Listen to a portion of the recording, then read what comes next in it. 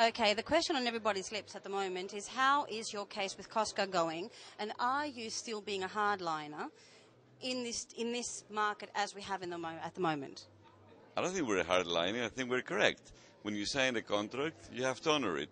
We have honored our contracts. We expect everybody else to do so unless they're not able, which means they have to file for bankruptcy. And that's not the case with Cosco because they have ample capital to be given. And the good thing is that I think Cosco have reacted in a way that is most positive is that they understood that they have to honor contracts and they're in the right path in doing so.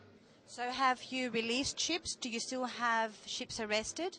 No, no, there's no, there's no arrested ships.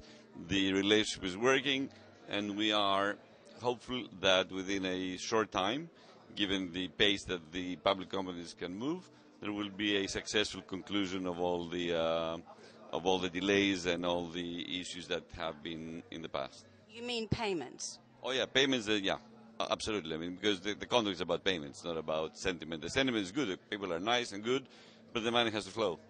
So, how do you feel about the fact that you've actually set the agenda for many other companies as well?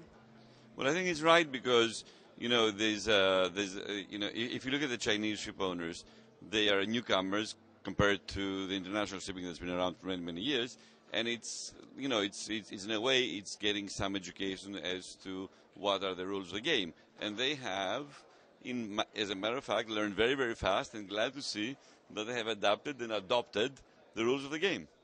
Do you feel that you have won? Have won what?